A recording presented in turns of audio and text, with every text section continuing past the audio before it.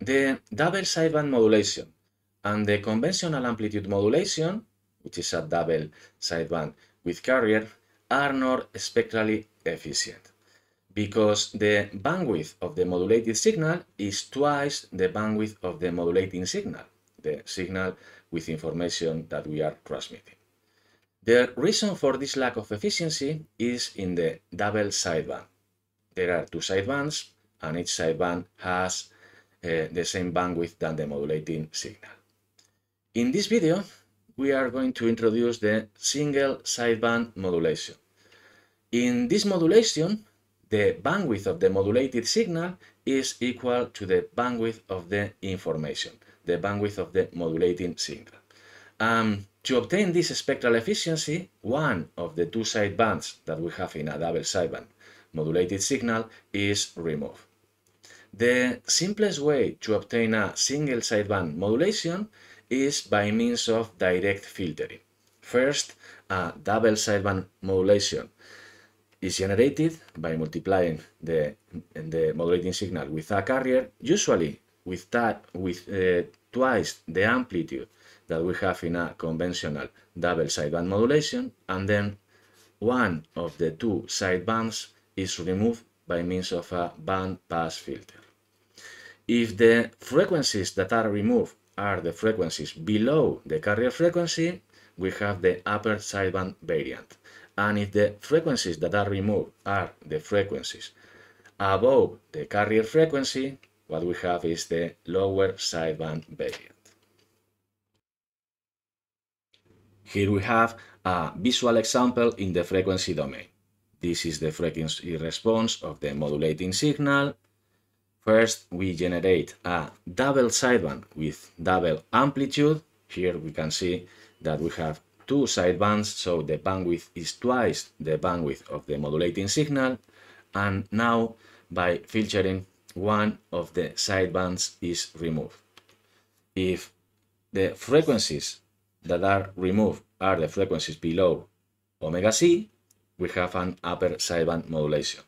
If the frequencies that are removed are the frequencies above omega c, we have a lower sideband modulation. The name corresponds, the name of the variant corresponds to the sideband that is kept. Upper sideband, lower sideband.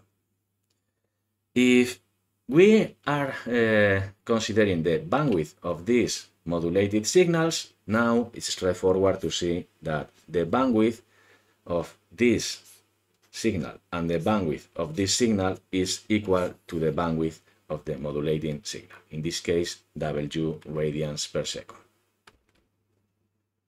It is important to remark that in a single sideband uh, there is all the necessary information to recover at the receiver the modulating signal. The recovery is uh, made by using a coherent or synchronous receiver. Here we will see in the frequency domain a visual example of the behavior of this kind of receiver. This is the frequency response of a modulating signal with bandwidth W radians per second. Here we generate the upper sideband modulated signal and, and in the coherent receiver, the, the received signal is multiplied with a cosine and then we have a low pass filter of this product with the cosine. If this is the received signal, the product with the cosine will produce two replicas of this frequency response shifted. One is shifted minus omega c and has half of the previous amplitude and the other one also with half of the previous amplitude is shifted plus omega c. And what we have after the product with the cosine is the addition of these two replicas.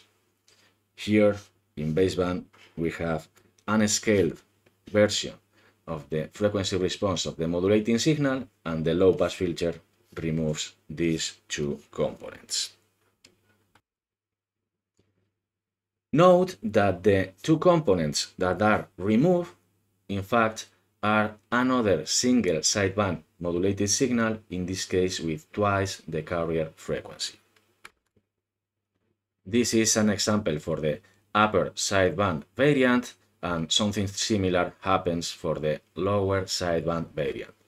The frequency response of the modulating signal, the lower sideband uh, variant, the spectrum is the part of the spectrum, the sideband below omega c, the product with the cosine, two shifted replicas, to minus omega c and to plus omega c, and the addition of these two shifted replicas is what we have after the product with the cosine. We have a, a replica, an scaled replica of the frequency response of the modulating signal in baseband and in bandpass, the terms that will be removed by the low pass filtering, we have another lower sideband modulated signal with twice the carrier frequency. thank you